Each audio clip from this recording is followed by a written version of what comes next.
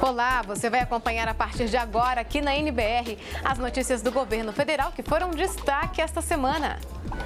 Brasil caminha para se tornar o maior produtor de alimentos do mundo. É o que diz um estudo da Organização das Nações Unidas para a Alimentação e Agricultura. Presidenta Dilma Rousseff inaugura a ponte em Santa Catarina. Empreendimento faz parte da duplicação da BR-101. Veja também Estatuto da Criança e do Adolescente completa 25 anos. São mais de 200 artigos que tratam da defesa e dos direitos de quem tem até 18 anos. E foi realizado o primeiro evento teste deste este ano para as Olimpíadas do Rio de Janeiro. O Notícias da Semana começa agora.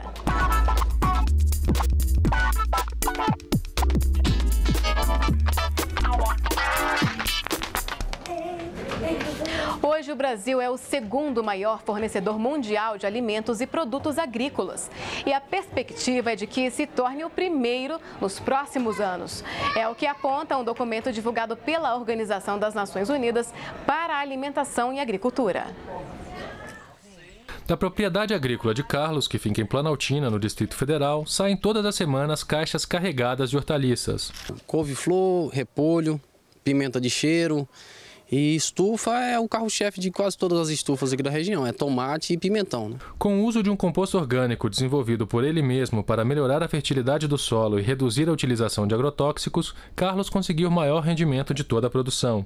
O resultado disso, produtos mais saudáveis na mesa do consumidor. Carlos também conseguiu um crédito do Pronaf, o Programa Nacional de Fortalecimento da Agricultura Familiar, para comprar um caminhão e entregar a produção direto ao comprador. E já pensa em adquirir novos maquinários para expandir a lavoura. Estamos querendo aumentar a propriedade, estamos, provavelmente vamos, vamos partir para uma maior logo logo.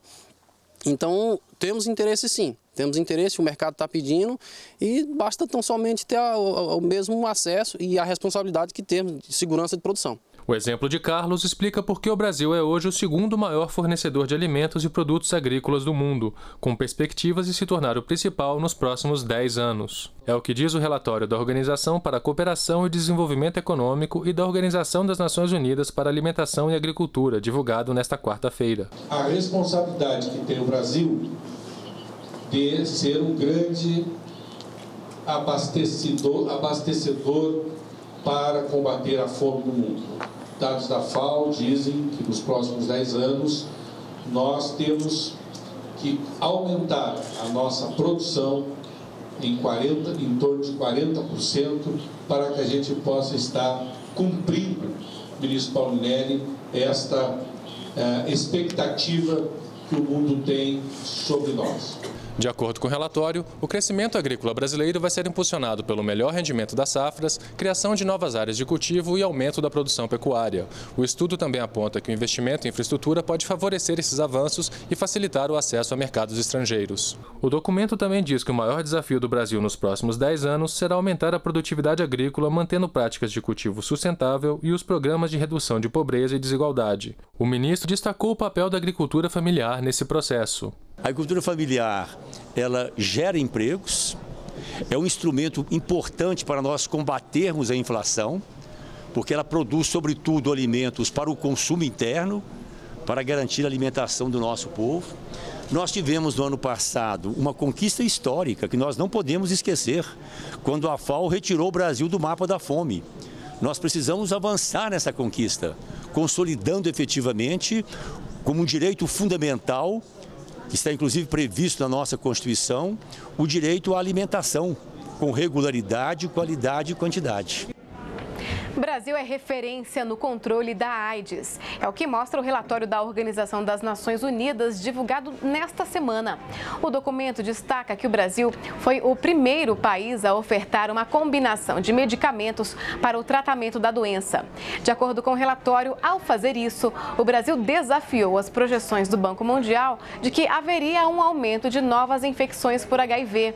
As campanhas de prevenção também foram reconhecidas. O documento, com mais de 500 páginas, revela ainda que as metas para deter e reverter a propagação da doença, estabelecidas como objetivos do milênio, foram alcançadas. Mais um passo para aumentar a produção de remédios e equipamentos médicos no país. O Ministério da Saúde apresentou o balanço das novas propostas de parcerias de desenvolvimento produtivo. A ideia é garantir cada vez mais o acesso a tratamentos pelo Sistema Único de Saúde. As parcerias para desenvolvimento produtivo são realizadas entre instituições públicas e privadas, com o objetivo de garantir o acesso a tecnologias prioritárias para o país. No caso do Ministério da Saúde, os contratos são voltados para a produção de medicamentos e equipamentos hospitalares. Nesta terça-feira, o ministro Arthur Quioro apresentou um relatório sobre as propostas das empresas interessadas em firmar parcerias com o governo. Para 2015, o governo fez uma lista com 10 medicamentos e 11 equipamentos de saúde prioritários. As parcerias têm como meta garantir a autossuficiência do mercado nacional. Atualmente, todos os 21 produtos são importados. Garantir aos usuários do Sistema Único de Saúde, o SUS, em todo o Brasil, o acesso a esses medicamentos mais caros, mais complexos, né? é, ao mesmo tempo estimular o nosso complexo industrial da saúde, fortalecendo os nossos laboratórios públicos, fazendo com que eles possam assimilar receber essas tecnologias mais modernas, tanto na área de medicamentos como na área de produtos médicos, de equipamentos. No final de 2014, o governo fez uma mudança importante no marco regulatório dessas parcerias. Agora são exigidos prazos para a apresentação de propostas de transferência tecnológica, com maior monitoramento do governo e garantia de segurança. E o período máximo para a conclusão do projeto, com transferência definitiva da tecnologia de produção, será de até 10 anos. O compromisso é, de seguir cada uma das fases e o acesso à compra pública, ou seja, o início de fato de um contrato em que o Ministério passa a comprar um medicamento, apenas quando se comprova efetivamente que todas as condições de início de transferência da tecnologia para o laboratório público estão em curso e que o cronograma apresentado está sendo rigorosamente cumprido. A disputa entre Brasil e França no final da Liga Mundial de Vôlei no Rio de Janeiro, nesta quarta-feira, ajudou a equipe do Comitê Rio 2016 a fazer o primeiro de uma série de testes nos locais onde os Jogos Olímpicos serão disputados. É o que você vê agora na reportagem de Carolina Rocha foi o primeiro enfrentamento da fase final da Liga Mundial de Vôlei. Enquanto os atletas suavam a camisa dentro de quadra, um time de voluntários estava atento a tudo o que acontecia. Esse foi o primeiro evento que serviu de teste para a preparação para os Jogos Olímpicos e Paralímpicos 2016. O diretor de Recursos Humanos do Comitê Rio 2016, organizador dos Jogos, explica as orientações que os voluntários tiveram e como se saíram nesse primeiro teste. Uma delas é, é, ter muito respeito e pouca interação com os atletas, para que os atletas fiquem concentrados no evento. Né? E focados nas tarefas que eles precisam fazer. Eu acho que os voluntários estão dando um show e a gente só tem a agradecer a essas pessoas que estão aqui é, fazendo esse evento, ajudando a fazer esse evento maravilhoso.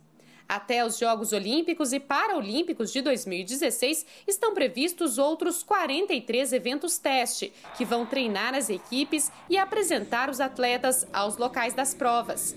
A programação, batizada de Aquece Rio, foi dividida em três ciclos. O primeiro focado nos esportes ao ar livre, como remo, hipismo e triatlo. Acontece entre julho e outubro de 2015, mesmo período dos jogos no ano que vem. Os testes para os esportes em locais fechados, como basquete, judô e tênis, serão de novembro deste ano a janeiro do ano que vem. A terceira etapa traz eventos qualificatórios, como futebol, natação e ginástica, e acontece entre os meses de março e maio de 2016, logo antes dos Jogos. O terceiro ciclo é quando a gente precisa de fato testar a nossa operação como se fossem os Jogos. Então a gente tem muitos eventos qualificatórios, como a ginástica, como é, os saltos ornamentais, que são eventos qualificatórios dos, dos próprios atletas para os Jogos. A ideia é que em quatro desses eventos o comitê possa treinar questões mais complexas de segurança e logística e que nos restantes o foco seja o campo de jogo. Os testes de campo de jogo envolvem todos os detalhes que acontecem no espaço da competição. Atenção da rede, a limpeza do chão, a entrega das bolas, o som e o entretenimento do público devem estar perfeitos. É por isso que o Comitê Rio 2016 quer praticar bastante com os técnicos e voluntários para que todos façam bonito durante os Jogos Olímpicos e Paralímpicos do Rio de Janeiro. Além deles, a gente está testando também todo o pessoal de cerimônia de apresentação das equipes, acompanha os atletas, acompanha os delegados, os árbitros. Então, principalmente os boleiros e enxugadores são muito importantes porque eles, eles interferem diretamente no jogo. Então tem que estar bem treinadinho e são pessoas que nunca tinham feito foi elevado de 30% para 35% o limite do crédito consignado do trabalhador aposentado ou pensionista. Mas, de acordo com a nova regra, o percentual a mais de 5% só poderá ser usado para cobrir despesas com um cartão de crédito. Ou seja, agora, além do trabalhador poder solicitar um crédito em instituição financeira equivalente a 30% da remuneração mensal, poderá também comprometer mais 5% do salário salário para pagar dívidas relacionadas ao cartão. O crédito consignado é um empréstimo descontado mensalmente, direto na folha de pagamento. Pode ser usado por servidores públicos, trabalhadores regidos pela consolidação das leis do trabalho, aposentados e por pensionistas. O Estatuto da Criança e do Adolescente completou 25 anos. A lei veio para garantir a inclusão dos menores de 18 anos em políticas como educação e saúde desde o momento da gestação da criança proteger a criança e o adolescente e dar prioridade absoluta para a garantia dos seus direitos. O Estatuto da Criança e do Adolescente quebrou paradigmas e o completa 25 anos. O Estatuto traz que criança e adolescente são sujeitos de direitos, de todos os direitos, né? direito à vida, direito à educação, direito à saúde, direito ao esporte, ao lazer. Então, o Estatuto da Criança e Adolescente ele trouxe um ordenamento também das políticas públicas, da descentralização das políticas públicas nos três níveis, na União, no Estado e no município. Vicente de Paula Faleiros é pesquisador da Universidade de Brasília e especialista no assunto. Para ele, o Estatuto foi uma mudança radical em relação ao Código de Menores, que considerava que crianças e adolescentes eram apenas objeto de decisões familiares ou judiciárias. O Estatuto da Criança e do Adolescente possibilitou que a criança tivesse palavra, decisão, processo legal, limites das decisões do juiz, uma, uma proteção especial e medidas socioeducativas bem delimitadas e formuladas para que houvesse uma punição adequada a essa fase do desenvolvimento da criança. O Estatuto ajudou a criar políticas públicas específicas para crianças e adolescentes, um sistema de garantia de direitos em diferentes áreas: educação, saúde, lazer, segurança, cultura. Gabriela tem 15 anos e mora em Campo Grande, Mato Grosso do Sul. A estudante faz parte de uma ONG que desenvolve projetos com jovens em situação de vulnerabilidade. Uma das coisas que eu, eu zelo muito é a bandeira da educação. Essa política pública da educação para todo mundo, de qualidade, é uma coisa que eu levanto muito um dos eixos do ECA que deveria, que precisa ser muito é, colocado em pauta. Para o representante do Fundo das Nações Unidas para a Infância, UNICEF, no Brasil, a adoção do estatuto trouxe qualidade de vida para crianças e adolescentes. O Brasil tomou a decisão certa faz 25 anos ao aprovar o ECA. Alinhou a, a, legislação brasileira com a Convenção Internacional dos Direitos da Criança, que esse é o mandato do Unicef em todos os países do mundo. Ainda segundo o Unicef, nesses 25 anos do Estatuto, um dos avanços foi a redução das mortes de crianças com menos de um ano de vida. Entre 1990 e 2012, a taxa de mortalidade infantil caiu mais de 68%. Uma das formas de garantir a saúde das crianças é a atenção especial para a mulher gestante e em trabalho de parto. A garantia ao pré-natal é um dos artigos do Estatuto da Criança e do Adolescente. O texto texto assegura que as gestantes possam ser atendidas pelo Sistema Único de Saúde. O pré-natal ajuda a detectar possíveis doenças e começar o tratamento quanto antes. Flávia tem 31 anos e teve diabetes na gestação do seu quarto filho. Ela destaca o atendimento recebido durante a sua gestação. A gente chega aqui, eles marcam, né? A gente faz ultrassom, tira sangue, é, faz os batimentos do bebê para saber se o coraçãozinho está tudo em dias, a mede barriga, tudo. Pré-natal natural, assim, bem assistido. Todos eles têm que ser bem tratados, desde do, da barriga, né? A obrigação do pai e da mãe cuidar bem do seu filho.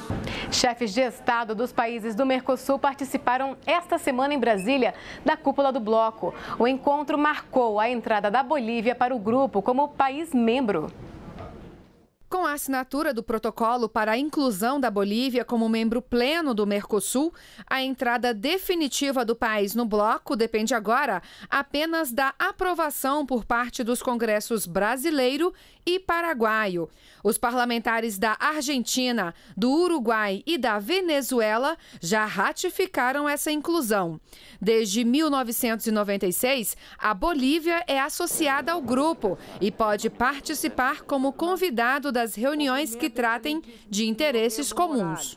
O país está localizado no centro-oeste da América do Sul e tem área total de 1 milhão 98 mil e 581 quilômetros quadrados. A população boliviana é estimada em mais de 10 milhões e 500 mil habitantes. Com o um novo integrante, o Mercosul passa a ter seis países membros: Brasil, Argentina, Paraguai, Uruguai, Venezuela e Bolívia. Juntos, eles representam mais de 70% da população da América do Sul, com mais de 295 milhões de pessoas. Além da inclusão da Bolívia, a 48ª reunião de cúpula do Mercosul marcou a mudança da presidência temporária do bloco, que foi ocupada pelo Brasil no último semestre. Quem assume agora é o Paraguai. E durante seu discurso na reunião dos chefes de Estado, a presidenta Dilma Rousseff destacou a importância do grupo dar continuidade a algumas ações iniciadas nos últimos seis meses, como, por exemplo, a busca por novos comércios fora do bloco. É importante também buscar acordos comerciais fora da região.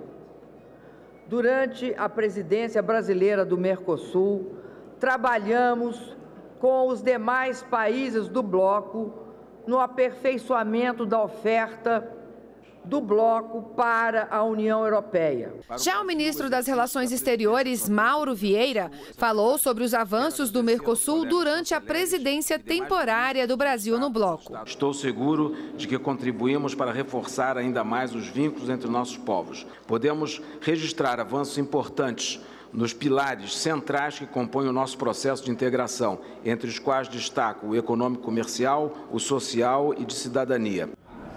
Outra decisão da reunião aqui em Brasília foi a entrada de dois novos países associados ao Mercosul, Suriname e Guiana, que se juntam ao Chile, Peru, Colômbia e Equador. As nações associadas participam das reuniões como convidadas, com direito à voz. Já os países membros, além do direito à voz nos encontros, têm também o poder de voto nas decisões.